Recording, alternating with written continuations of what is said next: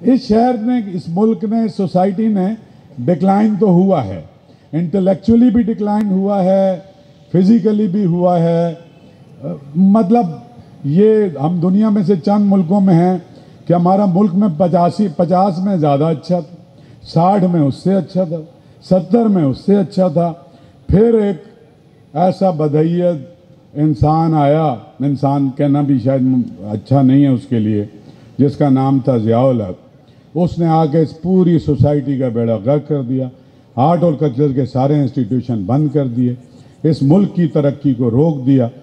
और उसके बाकियात आज तक आपको कहीं ना कहीं अभी भी रोडों पे बैठी हुई नज़र आ रही हैं। आठ लोग आपके शहीद हुए हैं, फौजी और मलेशिया के जवान। चार आपके पुलिस वाले लाहौर के पास मरे हैं। ज़ियाउल हक अभी तक इनकी रूहों से नहीं निकला है। ख़वातीन हजरात, बल्दिया कराची, या कराची मेट्रोपॉलिटन कॉरपोरेशन के इस अजीम शहर का अजीम इदारा है।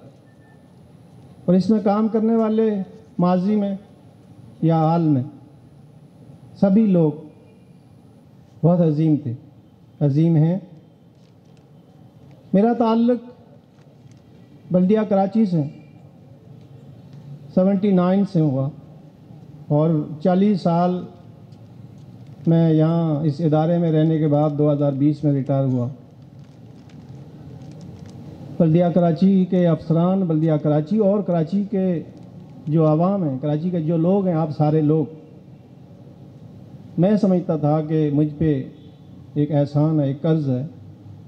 इसलिए कि इस शहर के इस अजीम इदारे की बिखरी हुई तारीख जिसको आज या माजी करीब में लोग एक नाकारा अदारा कहते थे कि जो शहरीों को पूरी खदमात, बुनियादी सहूलतें फराम करने में नाकाम है। ये बहुत ज़रूरी था कि अहल शहर और अहल पाकिस्तान को बताना कि इस अजीम इदारे में किन किन लोगों की क्या क्या खदमात और इसने इस शहर को बनाने, संवारने में किस कदर मेहनत की। तभी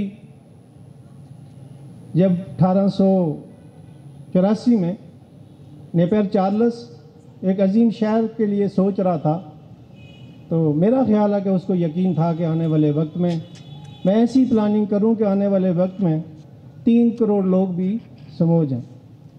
इस किताब में चार्लस निपेयर का वो तखयल वो ख्वाब जो मैंने महसूस किया, वो दर्ज किया और वहाँ से अब्दस्तार अफ़गानी साहब तक जब इसके शहरियों ने उनको ये इदारा हवाले किया।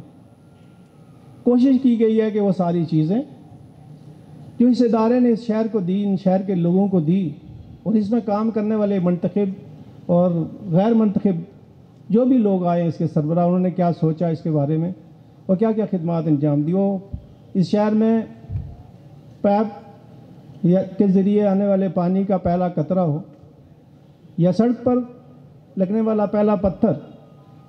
वो इस बल्दिया कराची और इसके अफसरान और इसके सरबरान ने शुरू किया, तब जाके ये मलका मशरक कहलाया।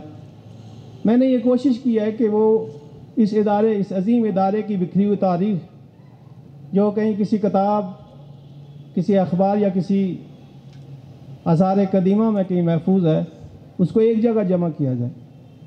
इस कोशिश में कितना कामयाब हुआ और कितनी कोताही रह गई या खामी रह गई, ये तो आप फैसला करेंगे।